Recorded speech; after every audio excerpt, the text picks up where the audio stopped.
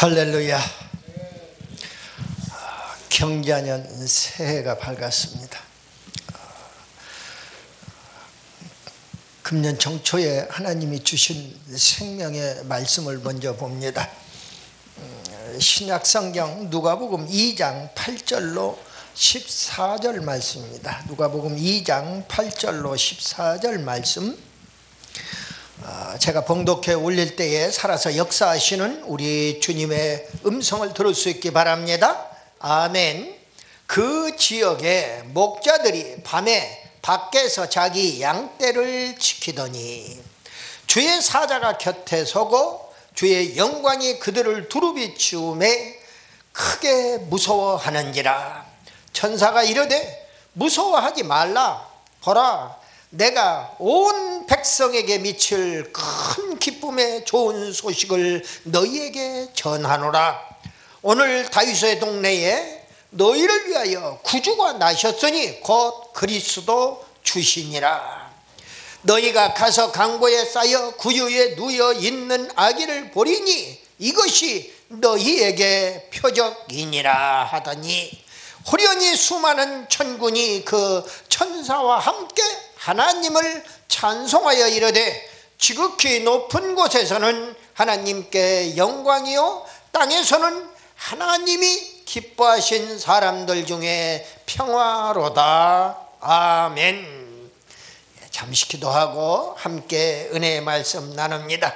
기도합니다. 살아서 역사하시는 우리 아버지 하나님 금년 한 해를 또 허락해 주심에 감사합니다.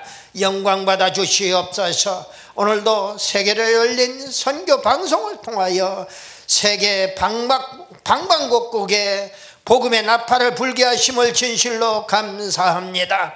영광 받아 주시옵소서. 오늘 이 한 시간도 하늘 문을 여시고 사랑하는 백성들 아직도 예수를 구주로 영접하지 못한 묻 백성들 찾아가 주셔서 하나님의 말씀으로 충만케 채워주시고 예수를 그리스도로 영접하는 놀라운 축복의 역사가 일어나도록 은혜 위에 은혜를 허락하여 주시옵소서. 믿사옵고 우리 구주 예수 그리스도 이름으로 감사드리며 기도드리옵나이다. 아멘. 아멘. 예, 우리 오른손 들고 인사 한번 할까요? 할렐루야. 할렐루야. 반갑습니다. 아, 새해 뭐 복 많이 받으라고 공식적으로 인사를 드리랍니다. 목회 동역자 여러분 새해 복 많이 받으시기를 바랍니다.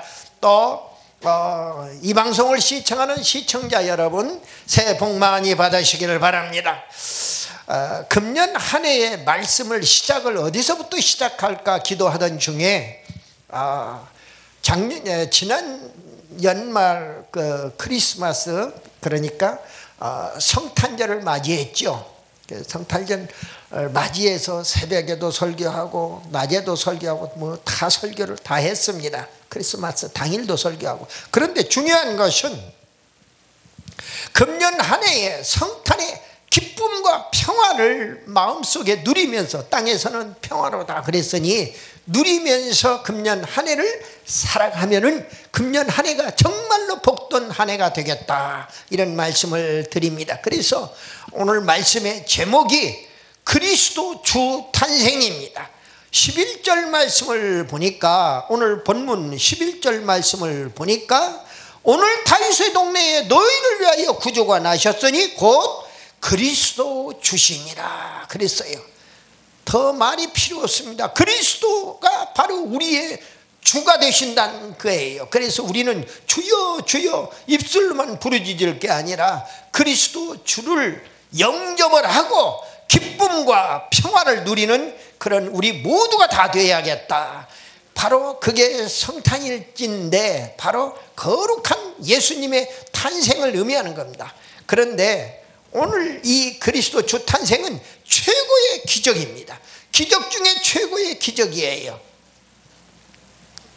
저게 제가 성경 기적의 어, 신학교 교재를 쓰면서 어, 그 많은 내용들이 있습니다만은 하나님의 어, 창세 기적부터 시작을 해가지고 이제 많은 기적이 시작이 됩니다. 그런데 특별히 그 많은 기적 내용도 다 중요하지만은 그 많은 기적 중에서 최고의 기적을 하나 꽂으라면 하나님이 이 땅에 인간의 옷을 입고 예수라고 하는 인간의 옷을 입고 이 땅에 오셨다고 하는 그 기적이 가장 큰 기적입니다.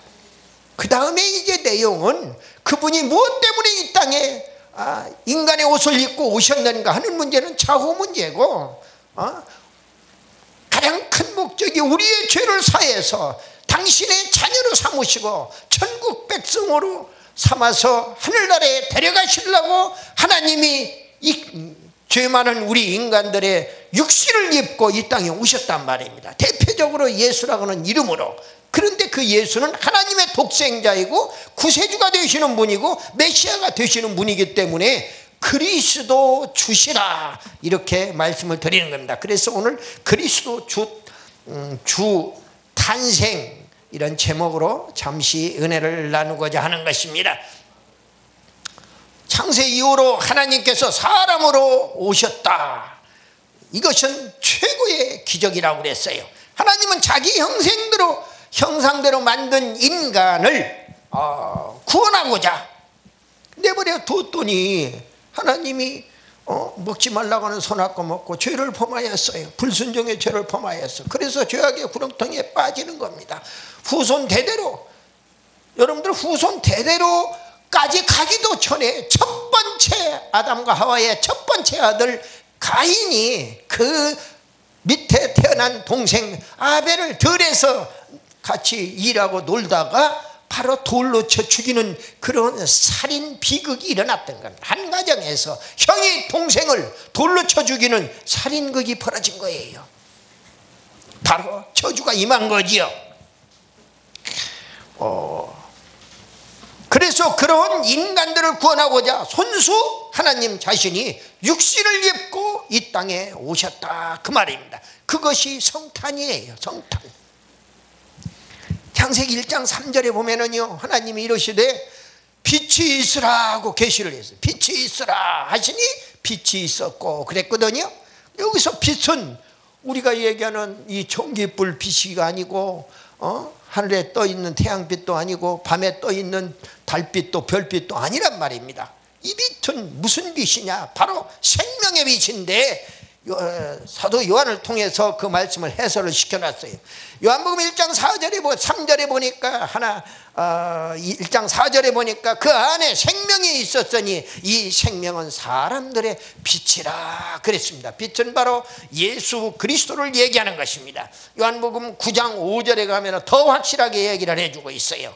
예수님이 친히 말씀하십니다. 내가 예수님 내가 세상에 있는 동안에는 세상의 빛이로다. 이렇게 예수님이 세상의 빛이라고 선포를 하셨어요. 근데 성부 하나님은 이 땅을 창조하실 때에 어? 빛이 있으라고 말씀을 하셨더니 빛이 있었다 그 말이에요. 바로 하나님 아버지는 말씀으로 세상을 창조하시는데 오늘 예수님이 이 땅에 오시는데 세상의 빛으로 왔다고 말씀을 주고 있다 그 말입니다. 오늘 다윗 동네 구주 그리스도가 나셨는데 이는 복음으로 하나님께는 영광이요 땅에서는 평화라는 그 천사를 통한 계시의 메시지 내용이 오늘 본문 내용입니다. 그래서 오늘 말씀의 제목이 11절에 근거해서 그리스도 주 탄생 이런 제목으로 함께 은혜를 나누고자 하는 것입니다. 첫째 어, 하나님께서 낮고 천한 육신을 입고 이 땅에 오셨다. 그랬어요. 누가복음 2장 7절에 보니까 첫 아들을 낳아 강보로 싸서 구유에 뉘었으니 이는 여관에 있을 곳이 없음이라 바로 우리가 사는 이 세상이 예루살렘 바로 어, 예수님이 태어날 당시에 그 주변 환경을 이야기하는 것이지요. 우리가 사는 세상에 아기, 아기를 낳은 임산부가 어린애를 낳을 방도 어, 빌려주지 않는 그런 고약한 세상이란 말입니다. 그걸 우리에게 보여주는 거예요. 그래서 말 치는 마국간에 말 먹이통 구유에서 어린아이를 낳아서 받아야만 되는 그런 비참한 더군다나 그분은 가장 높고 귀하신 바로 하나님의 독생자가 이 땅에 오시는데 그렇게 오셨단 말이에요. 하나님이 인간의 육신을 입고 오시는데 아, 이렇게 비참하게 오시는 건 낮고 가장 천한 육신으로 오시는 모습을 우리가 볼 수가 있습니다. 창조주 하나님은 인간의 모습을 입으셨어요. 하나님께서 그러한 인간 예수의 몸을 입으셨다는 사실 그 자체가 가장 큰 기적 중의 하나라 그 말입니다.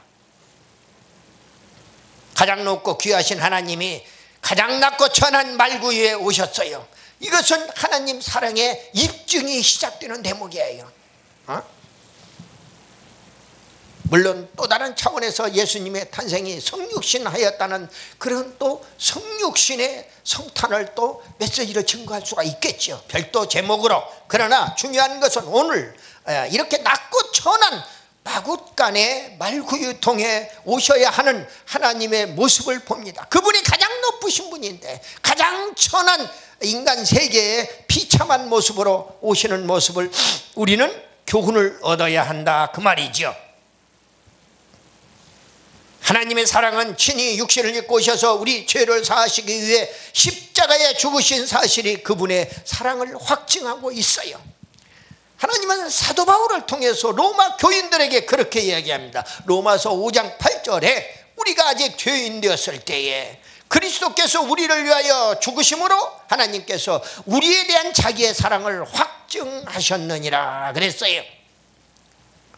십자가의 죽으심으로 우리를 위하여 십자가에 죽으심으로 하나님께서 우리에 대한 자기의 사랑을 확증하셨다.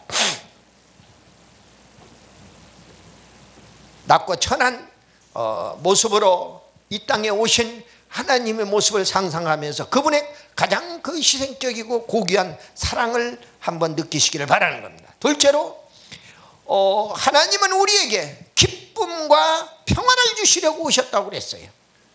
기쁨과 평화를 주시려. 그러니까 성탄의 절기를 맞이해서 성탄의 절기가 사실은 어, 작년에 기해년 끝 끝자락에 예수님이 오셔서 이제 이 절기상으로 따지면은요, 어, 이 경자년 한 해 계속 성탄의 기쁨과 평화로 살아가면 되는 겁니다. 우리에게 그런 기쁨과 평화를 주시려고 예수님이 오셨다는 겁니다. 누가 보면 2장 10절 14절 말씀해 보니까 천사가 이르되 무서워하지 말라 보라 내가 온 백성에게 모든 백성에게 그 말이에요 모든 백성에게 어? 모든 인간들에게 미칠 큰 기쁨의 좋은 소식을 너희에게 전하노라 큰 기쁨의 좋은 소식 바로 복음이에요 복음이 바로 예수예요 예수님이 오신다는 성탄의 기쁜 그 소식을 전하기 위하여 오셨다는 겁니다 지극히 높은 곳에서는 하나님께 영광이요. 하늘에는 영광이요. 땅에는 평화로다. 그랬잖아요. 바로 지극히 높은 곳에서는 하나님께 영광이요. 땅에서는 하나님이 기뻐하신 사람들 중에 평화로다. 여기서 하나님이 기뻐하신 사람들 중에 평화로다 그랬거든요. 하나님이 기뻐하는 사람이 누굴까요? 당신을 믿고 하나님의 자녀가 되고 천국 백성이 되는 사람들을 하나님은 기뻐하시는 겁니다. 예수 믿는 사 예수 믿고 구원받아 천국 가는 어? 천국을 받아들이는 사람들을 바로 하나님이 기뻐하시는 사람들이 다시 말씀을 드리면 오늘날 정말 교회를 열심히 다니는 성도들을 이야기하는 겁니다. 하나님이 거룩하니까 어? 성도들 너희들도 거룩하라고 하는 하나님의 택한 백성들 바로 선민이지요. 하나님이 택한 사람들 선민. 그리고 거룩한 백성 성도. 이 선민 성도가 바로 하나님이 기뻐하시는 사람들. 그 선민이나 성도들 중에 평화로다 그랬어요. 예수 안 믿는 사람들한테 평화를 주시기, 주신다는 얘기가 아니에요. 근데 오히려 예수 안 믿는 예수 믿는 사람들은 어? 그냥 거룩하게 지내려고 경건하게 지내려고 어? 선물도 나누고 그냥 그러는데 예수 안 믿는 것들은 오히려 이상하게 가서 술 처먹고 이상하게 여기저기 못된 데 응? 발로 걸어가서는 안 될 곳을 발로 걸어다니면서 손으로 어, 해서는 안 될 짓을 해가면서 못된 어, 죄를 범하는 것을 우리가 봐요. 성탄의 절기에 말입니다. 너무 심하면 하나님이 그것이 너무 보기 싫으면 내어 치는 것을 봅니다. 교통사고를 일으키기도 하고요. 못된 그런 일에 어? 어, 그러니 무슨 명절이 있다 하면은 성탈 절기를 포함해서 무슨 명절이 있다 하면은 불이 나고 대형 사고가 나고 하는 짓거리가 아, 우리가 살고 있는 우리 조국에서도 일어나고 있는 것을 보아요. 전사들은 성탄을 큰 기쁨의 좋은 소식으로 또한 땅에서는 기뻐하심을 입은 사람들 중에 평화라고 오늘 천사들이 찬송을 하고 있다 그 말입니다. 그리스도 주의 탄생은요. 창세기 1장 3절에 빛의 성탄으로 오셔서 창세기 1장 2절에 혼돈과 공허와 흑암의 권세를 물리치는 순간이라 그 말이에요. 창세기 1장 2절에 보니까 혼돈과 공허와 흑암의 권세가 어? 성부 성자 성령의 하나님이 계시는데 바로 온 땅이 공허하고 혼돈하고 흑암이 어, 진을 치고 있는 겁니다. 그런데 그 그러한 혼돈 공허, 공허 흑암의 어둠의 그러한 권세가 물러가는 거예요. 왜? 빛으로 오신 예수님 때문에 빛이신 예수님 때문에 빛이 들어가면은 그래서 하나님은 예수 믿는 거룩한 백성인 성도들이 너희는 빛이라 그랬어요. 너희는 빛이라. 그 성도들이 가는 곳마다 어둠이 물러가는 역사가 일어나는 겁니다. 성탄의 순간은 죄인의 구원이 실현되는 기쁨의 순간이에요. 또 마귀 사탄과 싸워서 승리하는 순간이라 그 말입니다. 세 번째로 하나님은 하나님이 당신께 영광을 돌리라고 아, 성탄 오셨다 그 말이에요. 하나님 영광 받으시려고 어, 독생자 예수 그리스도를 이 땅에 보내심으로 어, 백성들을 통해서 성탄의 축하를 받으신다 그 얘기예요. 하나님은 그리스도 예수라는 이름으로 이 땅에 오심은 하나님 영광의 극치라고 이야기할 수가 있습니다. 하나님 하늘나라에만 계시는 게 아니라 이 땅에 예수의 모습으로 그리스도의 모습으로 구세주의 모습으로 이 땅에 오셨다는 얘기예요. 영광의 극치예요. 하나님은 그리스도의 성탄과 십자가의 죽으심을 통해서 어, 당신의 속성들을 신성과 인성을 속속들이 다 드러내고 있는 겁니다. 특별히 하나님의 속성 가운데는 공의의 하나님, 거룩하신 하나님, 그리고 자비의 하나님, 지혜의 하나님의 그 속성들을 영화롭게 표출시키고 있는 것입니다. 하나님의 영광은 그리스도의 구속 사역을 통하지 아니하고는 당신께 영광을 돌릴 수 없는 거예요. 예수님이 땅에 와서 십자가에 피 흘려 돌아가셔야만 십자가의 희생이 있어야만 바로 그분의 영광의 극치의 자리에 오를 수가 우리가 그 맛을 볼 수가 있다는 이야기입니다. 그리스도의 구속사에게 그래서 그렇게 중요한 겁니다. 성탄은 이 땅에 평화라고 이야기했습니다. 하나님께는 영광이 된다고 그랬습니다. 아, 말씀을 마무리합니다.